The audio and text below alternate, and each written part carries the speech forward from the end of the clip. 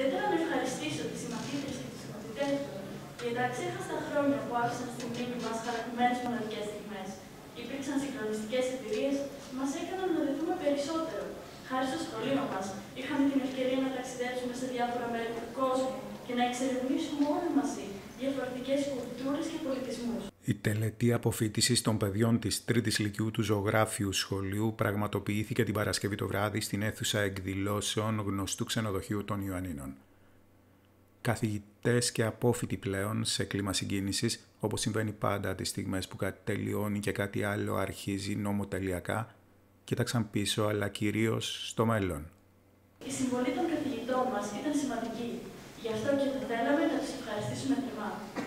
Εκείνοι πάντοτε στεκόταν στο πλευρό μας, ακόμη και στους δύσκολους καιρούς της πανδημίας, όπου τα μαθήματα διεξάγονταν διαδικτυακά. Αξιοσημείωτο είναι το γεγονός πως όχι μόνο μας διέδωσαν τις γνώσεις τους, αλλά βρίσκονταν σε θέση να αντιληφθούν την ψυχολογία μας, να διαμορφώσουν ένα ευχάριστο κλίμα κατά τη διάρκεια του μαθήματος και να μας οδηγήσουν να κάνουμε τα όνειρά μας πραγματικότητα. Ο Γενικός Διευθυντής του Ζωγράφιου Σχολείου, μιλώντας στην εκδήλωση αποφύτηση, εξέφρασε τα συναισθήματά του.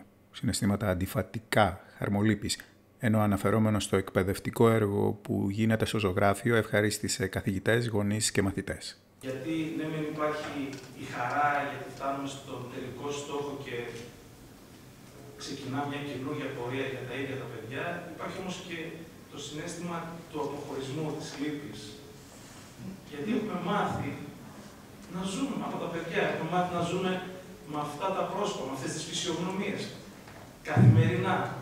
Με τα καλά μας, με τα κακά μας, με τις εντάσεις μας, με τις καρές μας, με τα γέλια μας. Είναι όλα αυτά τα οποία προκύπτουν, θα έλεγα, ακόμα και μέσα σε μια, σε μια οικογένεια. Είναι αυτό που βιώνετε εσείς με τα παιδιά σας. Εμείς το έχουμε μεγαλώσει λίγο περισσότερο, μια μεγαλύτερη οικογένεια ουσιαστικά είμαστε. Και δεν θα μπορούσαμε παρά να αισθανόμαστε και να νιώθουμε την, την αγωνία τους μέχρι να, να φτάσουμε να, να πάρουμε στα χέρια μας τα αποτελέσματα των εξετάσεων και να μοιραστούμε την χαρά τους ή όποια η ώρα που τα ακούει να συμπαρασταθούμε για να κάνουμε το επόμενο βήμα αν κάτι δεν πάει καλά που αν θέλετε έτσι και την ομή και πραγματική αλήθεια αυτό που λέμε κάθε φορά στη διάρκεια του εννοούμε ότι δεν τελειώνει κάτι. Ίσα από τώρα ξεκινάει και έτσι όπως είναι δομημένη η σημερινή κοινωνία και έτσι όπως εξελίσσονται τα πράγματα, κανείς και από κανέναν δεν μπορεί να στερήσει την γνώση.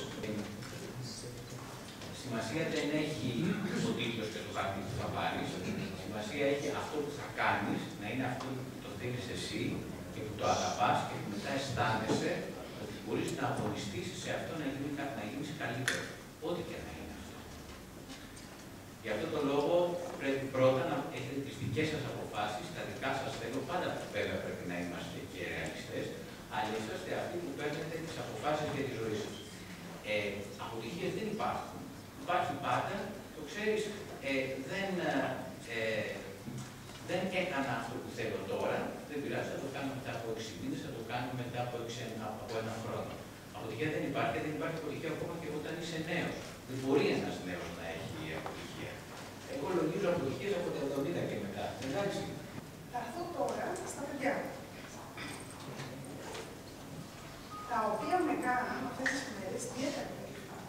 Και ο λόγο είναι γιατί δέχτηκα συγχαρητήρια τη συμπεριφορά του, κάτι το οποίο θεωρούν το σημαντικότερο σε έναν άνθρωπο. Γιατί όπω πολλέ φορέ λέω, συμπεριφορά ενό ανθρώπου είναι τα καλά ακόμα που μπορεί να φοράει ένα άνθρωπο όλη τη ζωή. Και τα καλύτερα εφόδια που μπορούν να έχουν και να του αποδοθούν. Και σα ευχαριστώ γιατί γίνατε αιτία να μου πούνε ότι έχω καλά παιδιά. Και αυτό συγχαίρει σαφώ του γονεί, γιατί είναι πρώτοι, ε, συγχαίρει ταυτόχρονα και του δασκάλου που ακολουθήσατε στην πορεία και βάλατε το μικρό σου χαράκι στο να γίνετε αυτή σήμερα.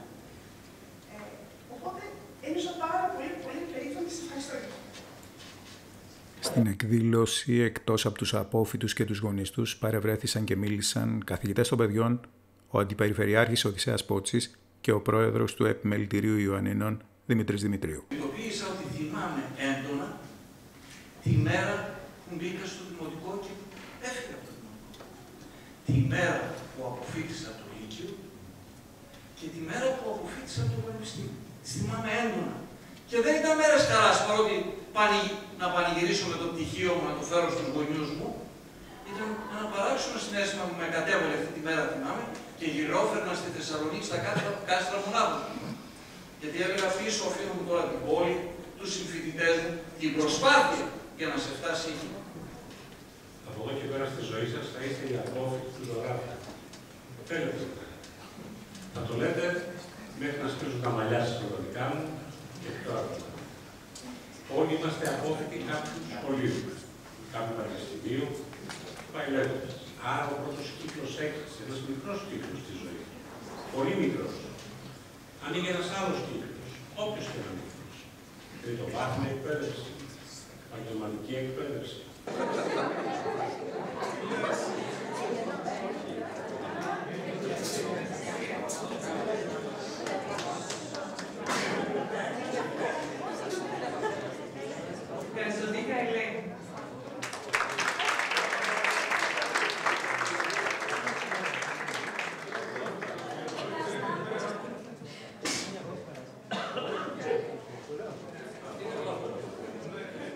Γόγκολος Κωνσταντίνος.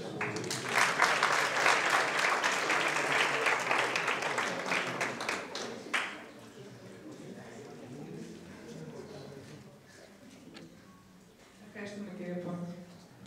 Σωστά, κύριε. Ναι, και το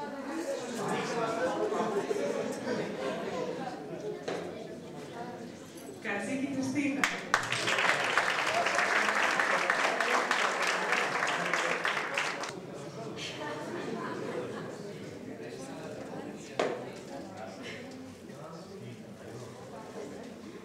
Grazie mille